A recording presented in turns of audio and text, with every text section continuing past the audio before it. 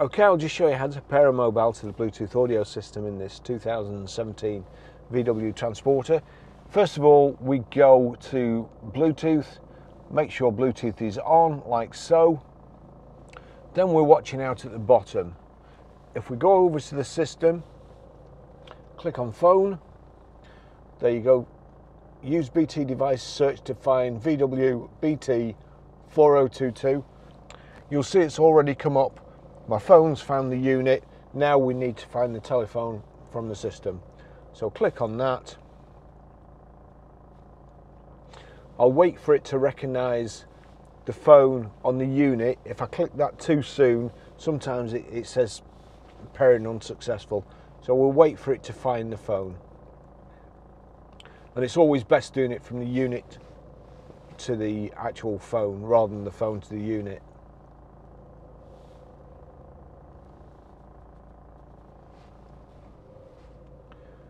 And there we go, it's found. My phone. I'll click on the phone. You see there it's thinking about something, requesting available profiles.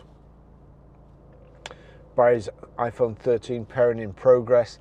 And we see it there. That's come up with the number 5192 so it's generated a random pin code. Does it match this passkey pair? And yes it does allow contacts and favorites to sync, allow, and you'll see there the, the phone is already connected on there and it's showing on the system.